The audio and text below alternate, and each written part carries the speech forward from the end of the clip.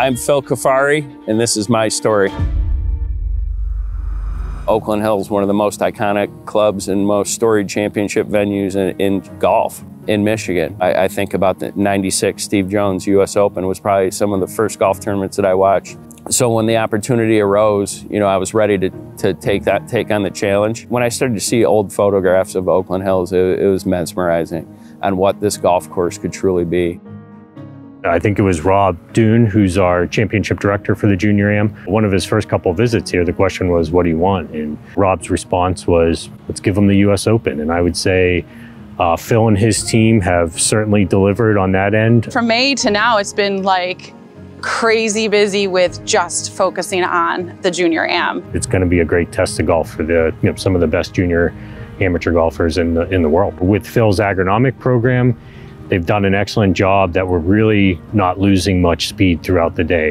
In 1998, I went to Oak Hill Country Club. Um, no golf course experience, intern from SUNY Delhi in, uh, in New York State. And, uh, you know, I remember my professor saying I shouldn't go to Oak Hill because I didn't have any experience, but I've never shied away from the pressure. I've actually uh, probably uh, jumped in more pressure than most people do. I, I just have this belief that if you want to be the best, you start at the best you know, it sets your fundamentals. When I decided to interview at Oakland Hills, the, the restoration hadn't been approved yet. Um, most people that would be a turn off for them was actually a turn on for me because being part of something and getting it approved um, is part of the process. This is why I got out into the business to be on the biggest stage. Um, that's just who I am and my DNA and how I'm wired. I kind of had this roadmap that I wanted to do a bunch of different things in my career. You know, one was host a tournament. One was, you know, to work for a superintendent that had hosted a bunch of tournaments. You know, I wanted to do a grow in um, to see all, all different facets and which one I really kind of wanted to do. When you think about it, Oak Hill's always been the foundation, and really Jeff Corcoran has always been the foundation. And uh, when you go through tough times, you lean on your biggest supporters. And, uh, you know, he's a huge supporter of mine and my family. So you have the golf course family, and then you have uh, your real family you know?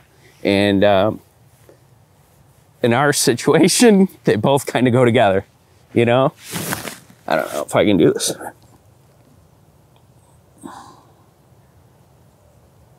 She's a major part of the story, right? I'm very, you know, I'm proud of my husband. I mean, he's this great guy. You come a long way from 20 some years ago. We're best friends. And I think working with your best friend is incredible. We went to the same high school. I go to college he goes to college, but we came back and we had an awesome bar in the down in our little town of Victor. He got the job at Philadelphia, and my dad said, uh, "You need to give him three months to live on his own."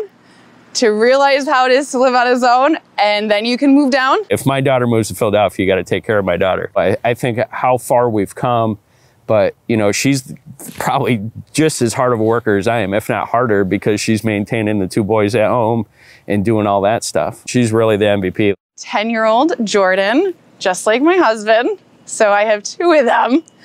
And then I have my 14 year old Cash. Why I bring them here is to show them what he does because it's such a beautiful thing. They're seeing this, and what I love what they're seeing because we want to instill in them is hard work. And I want them to see how to succeed. And that's how you succeed is to work hard. One thing, Adam, is that I've always done is include people in what I do. You know, whether it's my mom and dad or Jen's mom and dad or the kids, there's nothing greater to have them come out and walk the golf course. They love being around it. They love being around me too. Jordan comes with me this year since I'm working here. He'll go out with like Jack Judge or Wally and he loves raking bunkers.